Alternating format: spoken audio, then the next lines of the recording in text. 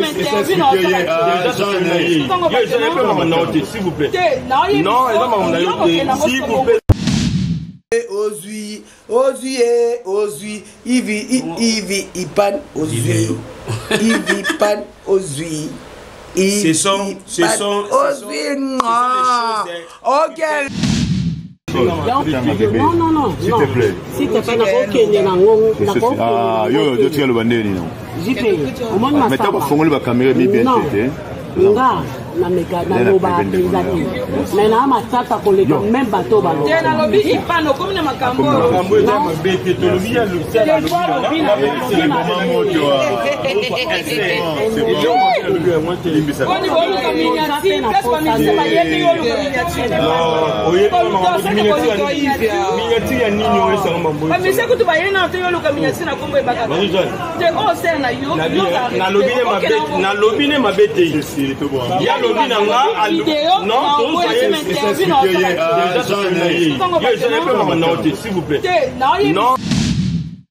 voilà comme ya na nga azali sali te na makambo oyo bravo mais hmm. babiloko mibale wana mwasi na mobali bapotana ive ozwi eyi i oke loko tala bango na bango bakomi koswana eye mabe eye mabe ozwi ozwi ye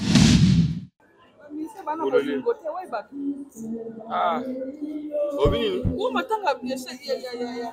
ya saka kongo bamise baza te bato baza bamise bazali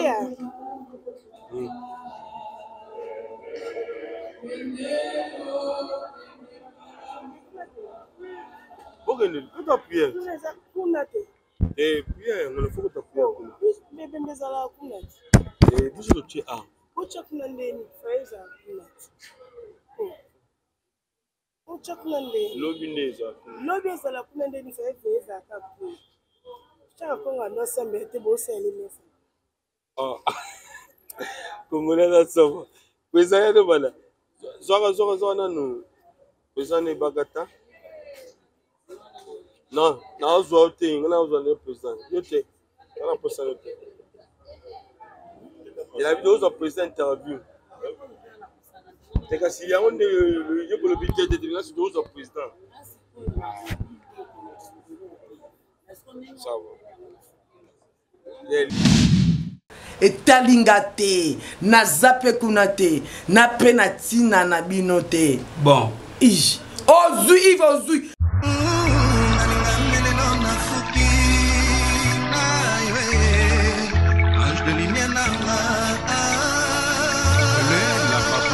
TV, Rose TV nde makambo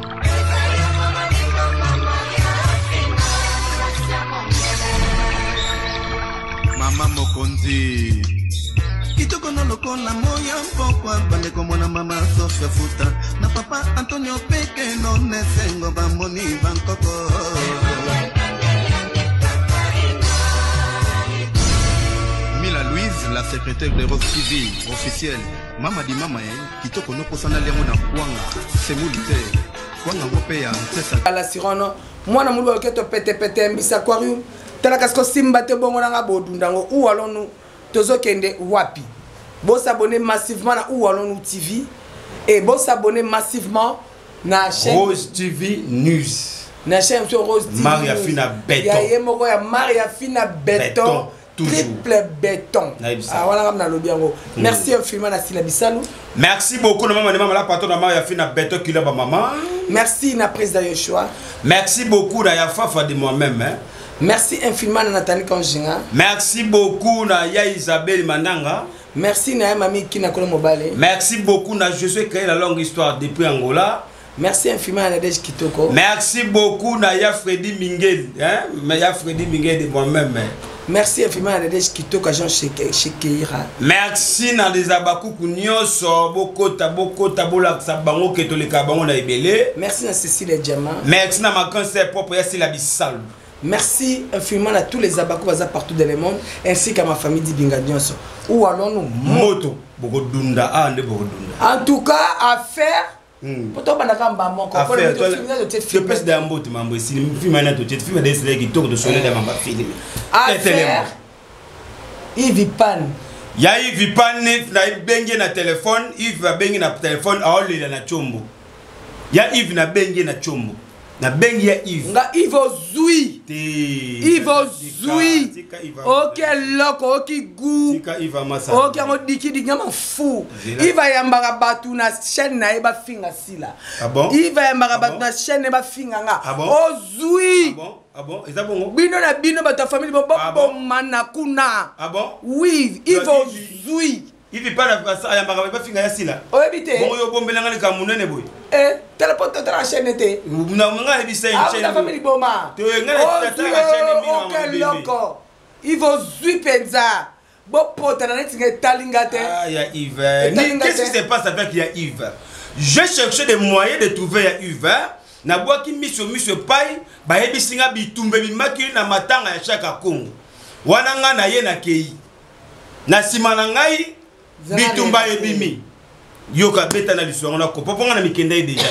bino bato botikalaki nini elekaki na matanga ya ya shaka kongo en tout cas bocomprendre nga je suis un peu arrimé mm. euh, même bomona voix na nga eza bien te mais je voilà. suis obligé toujours topesa bango yo makambo en tout cas merci na mida merci na ese merci na bachroniqueuse to tosutena asila toujours bolingo en tout cas merci infiniment na ezalaki boye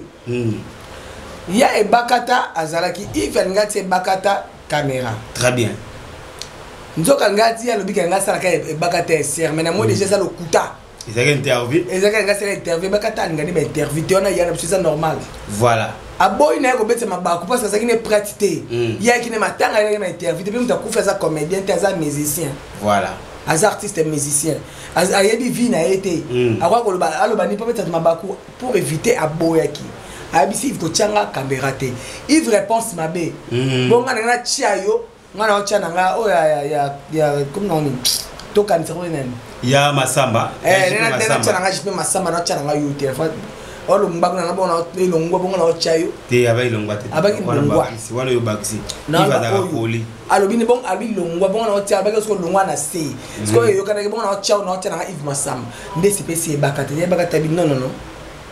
nga nalingaka na nga caméra te hmm. te en tout cas vis à vis eyebaka ta ayebaka komikitisa hmm. te ser na yango tia na nga yo te na nga sa na nga eser mbala moko nani wa ntakala liboma ya marie eh. o oh. ye mbala moko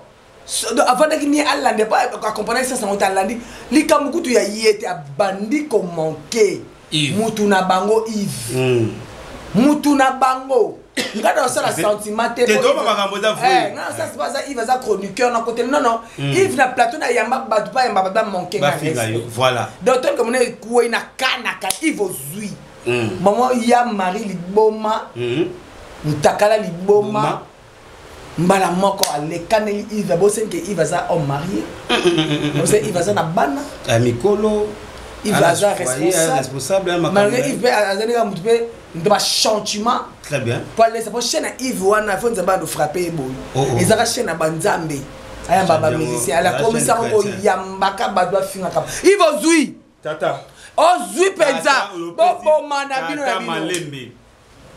opesi biographie kitoko toyoki sikoyo yo ya marie toswana ya marie etali yo wapi sikoyo yo ya marie makambo yango etali yo na nini oza mwana mwasi ive aza mwana mobali mpe aza ndeko na bino bozalaka mpe na ye iva yamba mpe yo na émission oloba bilobaloba ah, osalela basentiment na yo na tv oloba okokaki koloba na émission siko lelo ka le meme ive yango yo sepeli omanke ye osepelisa motonefaut eh, pas le manke bana mibale lelo koyosala bino bo bokoma yoka bana mibale tata tika nakotuta makambo ngai ah, moi j'aime pas oui Moi j'aime pas mwana mwasa make mwana mobali. Olobi? Moi j'aime pas mwana mwasa make mwana mobali. Mais eza ba jeune na bango basala. Malgré ba jeune na bango, Yves na bengi. Non non non, nga kuna nakokota naye bato bafingela ngai ya ntongo mini puku nga nazo explike bato makambo ndenge se passe pour moi c'est pas, c'est pas bien c'est pas du tout bien c'est le manquement babe yango manquement biologique c'est bon ah, vas-y vas-y vas-y c'est le manquement biologique ya ese alobi nini eloko oyo asali soki ezalaki bishop to tonton zuma ma eloko oyo na litama nazoyebisa yo ma eloko oyo na litama ekoyamba mo ekangi awa makambo esili chaka kongo ake ye moko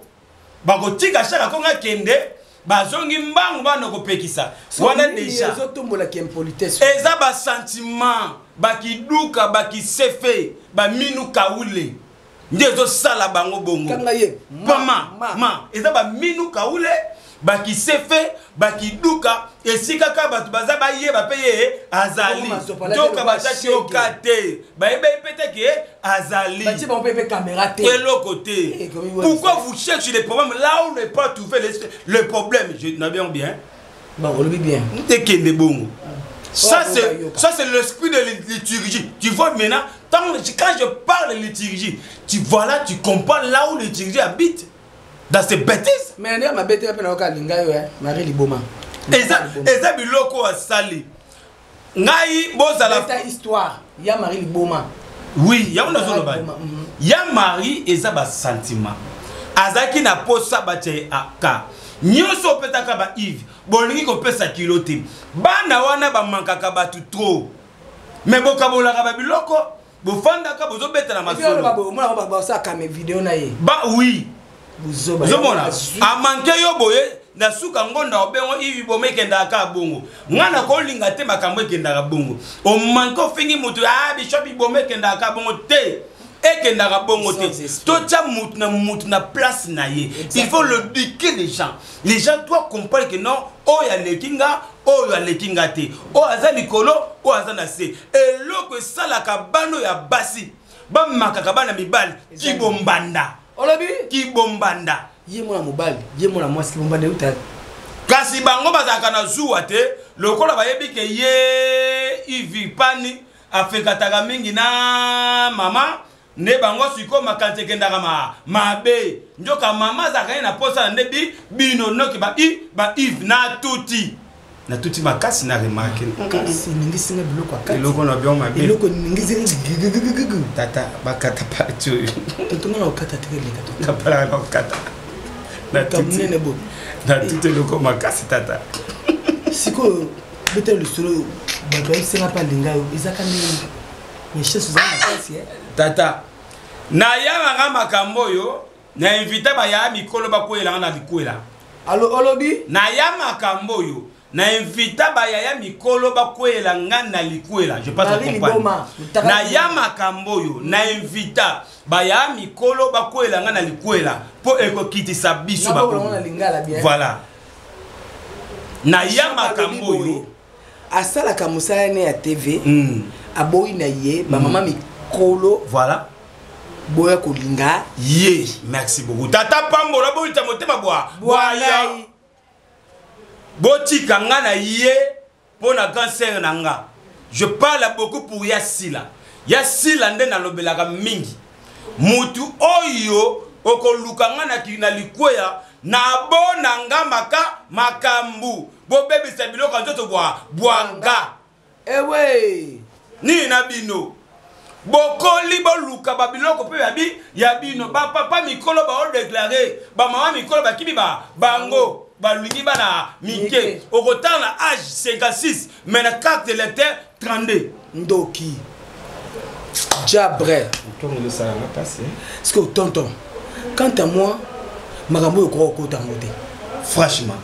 parce que eza bango na bango lobi okomona video mama na bango tokoti makambo oyo te biso beaucoup plus tozwi part ya presse na ye na ye mwana mobali na ye mwana mobali nde basanganaki etali biso te etali biso te nga mpo nanga bobomana etali biso te bofingana naza kuna te ivo etali biso te le problème eza nini toweli ka kombo ya presse totomboli presse Ah, eh, eh, eh, nga kuna na ngambu ya presse ya bolingo te totomboliecoute madame tata bana mike batatika babetise ya kotombabana batalaka biso mwana babenga na poto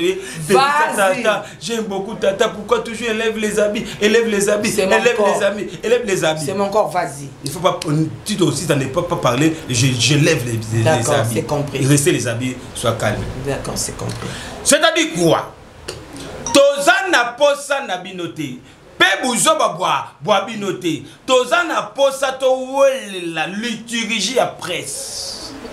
ce qui fait mal tokomi koboma liturgie ya presse presse ekomi obungisa liturgie nango presse ekomi perde honnêteté ya liturgie quand parle liturgie oh, oh tata mpo na vanisi na otolongo bala kotia misapi motia misapi wapi tozowela par wa fo tiaka misapi na wapi nazoba tozowela nde par oh. ya liturgie nazotiaka misapi na wapi tozowela par ya liturgie yo ezaka boye nde eni towela par ya liturgie oleka na mingi eh? nazoyeba pete motu eh, esanga mpasi loba mpo mpenza na likambo de c'est-à-dire quoi towelela lembisa tata towelela part ya liturgie ntango parla nazo nazoboya yango oyo ko boni boye ko yo iva leso nini yango eba liturgie na yo nakoyela yanga part ya tv ya prisca quand on parle de liturgie eh, directement c'est mot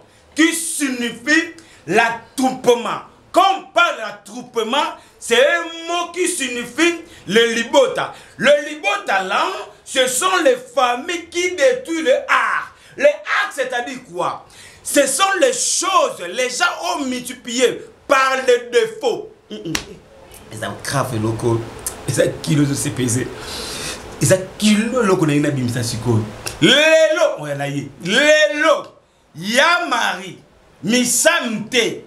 tokende pembe ya mari misamu te ya mari de la part de fali ipu ipupa parce qu'il a chanté ya mari libo c'est lui là qui trouvait le lieu de manquer ive ne faut pas manquer le gars ne faut pas manquer les mibali quand on manquer les mibali directement ezolakisa quelle politesse des femmes les femmes là. par là tu veux dire quoi ya marie par là je vais dire que les, les choses comme ça ya marie elle est qui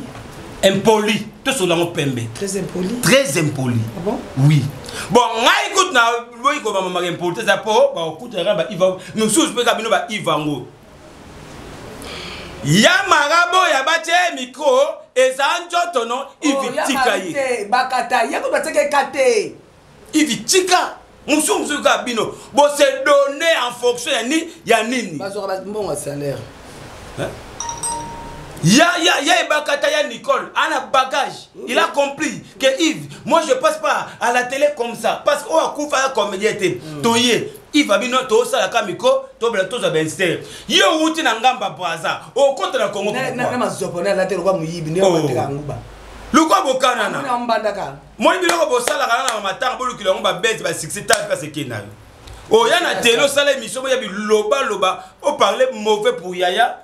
omoni ekanga yo oke do olongoli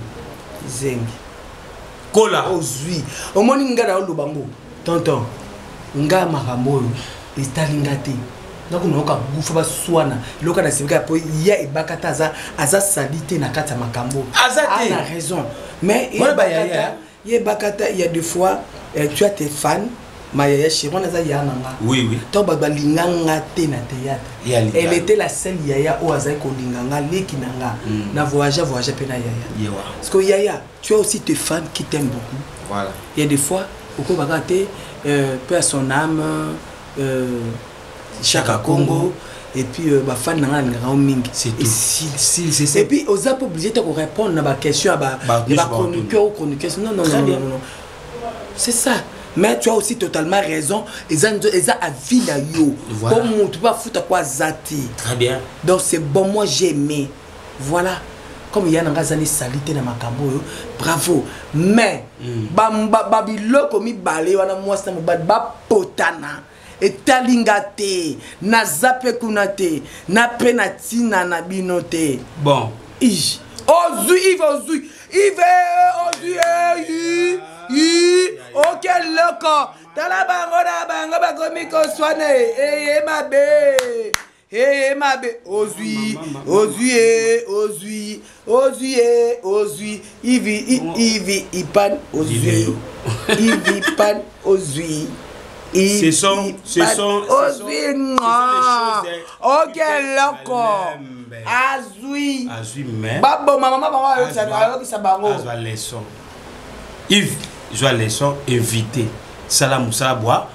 bwa yo azwi nga soir make nga na oya aoya ayebi iva ayebi ayebi kieki ayebi ye mpe moto atindi yo nyata ive atindi ki akotela ye ive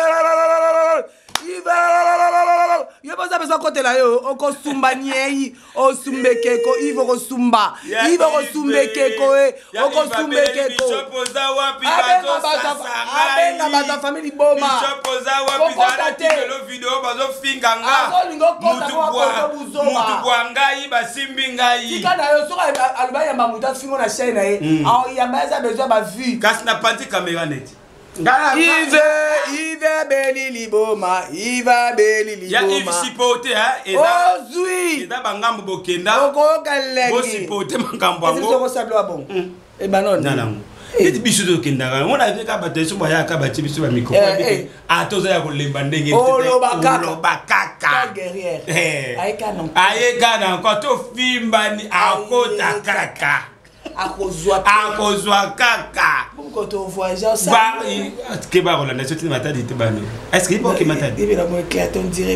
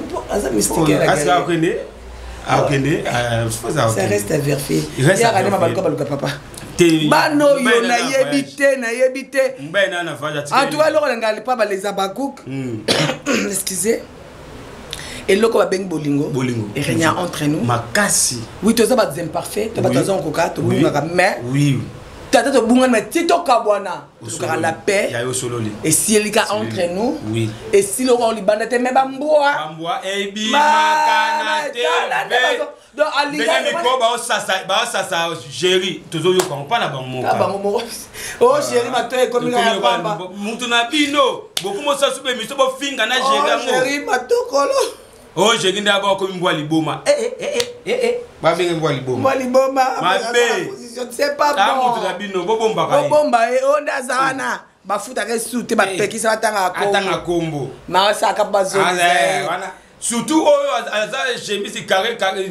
veste ya carré carré lelango wana velu wana aza na kisongi songi moko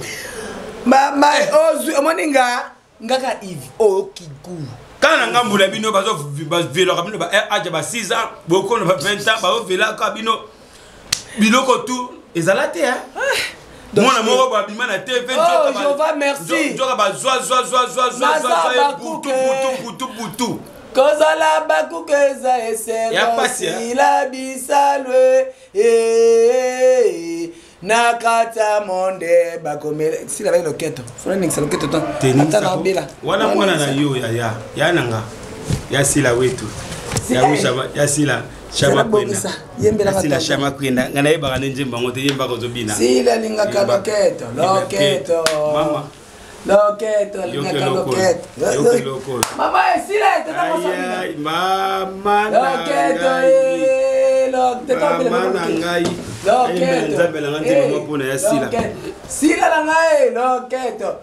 Sila bisalwe. Na yebela nzambe na nga nzembo moko. Na kati ya kiti. Mama ee. Oyo nini? Oyo nini? Ya moto makomela gene. Oh sila bisalwe. Mwasi kitoko e. Makomela gene. Eh. Bon, na yebela eh, nzambe. Malembi. Balobaki na ngai nakobonga te. Kasi nazalaki na elikya. Mingi balobaki mabe mpo na ngai. lelo oyo batikala na soni mpe mingi masiya alukaka moto azanga ntina atombola ye mpo mokili ekamwa eloko moko nakobosana te yesu nde yano na nga eyano na nga ezali yo masiya na bato nyonso namonise yo olongoli nga na kati ya potopoto poto. otomboli ngai okomisi ngai peto yango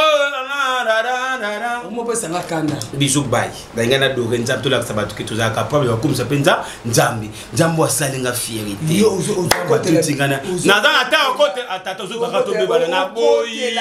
na boyi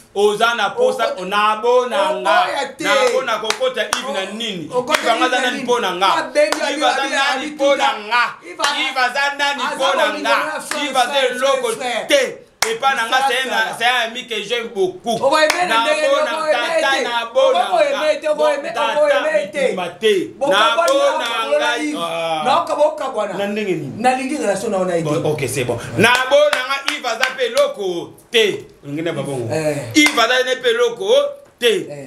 basola mingimingi na bato nyonso mbelo ngai nayoki kaka mpasi eza ke